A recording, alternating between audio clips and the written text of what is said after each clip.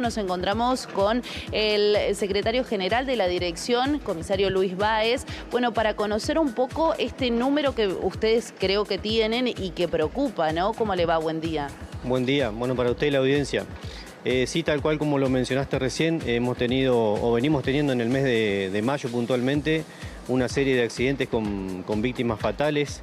Eh, la verdad que es por ahí un poco descomunal la cantidad ¿no? que hemos tenido en el transcurso de los días es algo que nos abocamos siempre de lleno en la tarea preventiva para tratar de evitar esto, pero a veces este, bueno, los resultados parece que son más que nada este, por cuestiones humanas prácticamente o esencialmente por cuestiones humanas en cuanto a negligencias en la, hora de, la conducción de un vehículo.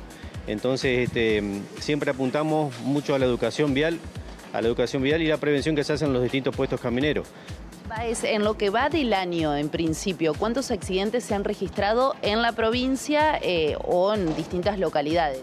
Bueno, nosotros llevamos un conteo más que nada lo que es en rutas nacionales y provinciales, que es lo que respecta a la, a la Dirección de Prevención y Seguridad Vial, eh, un total de 50 hasta el momento, 50 accidentes con víctimas fatales. Todos esos con víctimas fatales. ¿Hubo otros accidentes eh, menos graves, si se quiere? Y bueno, después están los accidentes que se producen dentro de los ejes urbanos, que por ahí este, no llevamos el conteo puntual nosotros, pero sí también habría que sumarle ese tema. Eso a nivel, bueno, de, todo el año, en lo que va de, este año, pero en las últimas semanas también se registró un número importante de accidentes. Sí, más que nada desde el fin, de, o sea, este fin de semana que pasó, no el anterior, ya tuvimos un fin de semana bastante complicado en temas de, de accidentes con personas fallecidas en cuanto a la cantidad pero siempre este, apunto a que a veces los motivos, los motivos de los accidentes puntualmente son negligencia, negligencia de los conductores. Puntualmente eh, de los adelantamientos en doble líneas amarillas.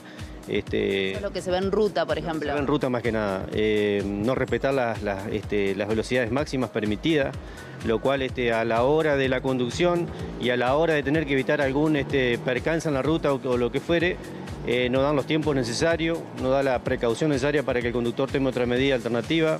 Entonces, los resultados en esto que estamos este, teniendo actualmente. ¿En ruta cuánto es la velocidad permitida? Bueno, lo que es ruta simple, que llamamos este, de día y, em, la circulación normal de rutas eh, provinciales simples, es de 110 el máximo.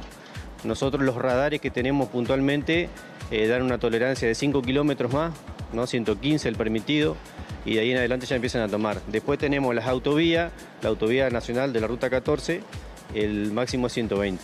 ¿Qué es lo que ustedes observan? 110, 115 con tolerancia, 120. ¿A cuánto va aquel que es protagonista de un accidente? Y la verdad que se exceden bastante, bastante lo permitido, se han contratado hasta 170, 190 kilómetros por hora de velocidad, entonces ya hay que partir de una base de que el conductor, el conductor ya viene totalmente fuera de la ley, y en base a eso tenemos las consecuencias este, con los accidentes fatales. ¿no? ¿Qué es lo que pasa? Esto se observa más durante la semana, que hay más circulación, los fines de semana que por ahí juegan otros factores como es el alcohol. ¿Qué es lo que ustedes pueden decirnos?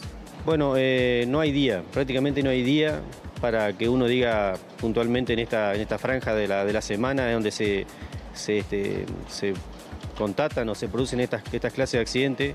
Este, lo que sí, bueno, el control de alcoholemia, a veces como veníamos hablando en, distintas, eh, distintos reportajes anteriores, hemos dado cuenta de la cantidad de alcoholemia que se contatan, eh, más de 20 a veces casos positivos por fin de semana, eh, lo cual llama la atención también el consumo de alcohol a la hora de, a la hora de conducir y mm, a eso tenemos que sumarle las cuestiones de que no se respetan las velocidades máximas, no se respetan los doble, las dobles líneas amarillas, que las pasan este, no existen, digamos, para el conductor no existen. Pareciera que no, y, bueno, estos son los motivos que generan o desencadenan esta, esta cantidad de, de personas fallecidas, ¿no?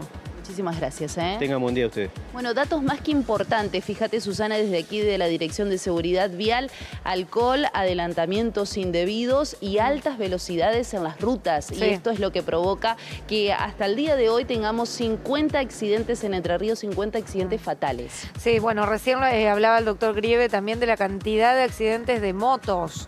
Este, también por velocidad y por no usar casco.